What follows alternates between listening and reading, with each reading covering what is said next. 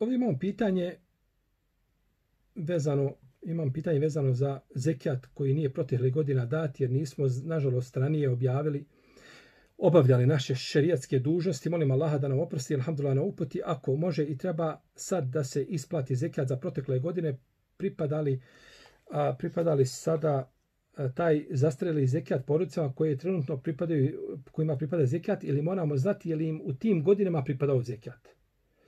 Allah vas nagradi na djelo. Znači ovdje imamo pitanje, a, a, lijepo pitanje. Znači pitanje zekijata. Osoba nije duži vremenski period davala zekijat,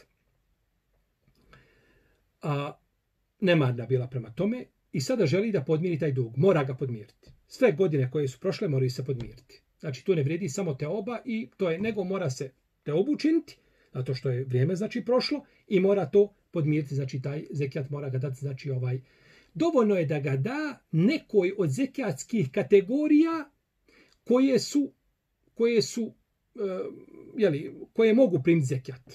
To je dovoljno Koje su sada siromašni mogu primiti. Ne mora znači gledat da li je ta kategorija u to vrijeme, jer on tad daje zekijat. On ne daje zekijat, e, to, to je dug koji je ostao. On ga sada daje i sad ga izdvaja, isplaćuje i kako već e, da kažemo.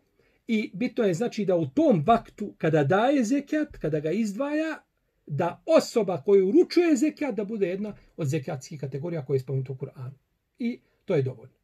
To je znači dovoljno, ne treba, znači ne treba ništa, ne treba ništa više je li mimo toga, a što se tiče same svote ili kako će to e, sada je li ovaj procijeniti koliko je zekijata bilo, to se vraća na čovjeka.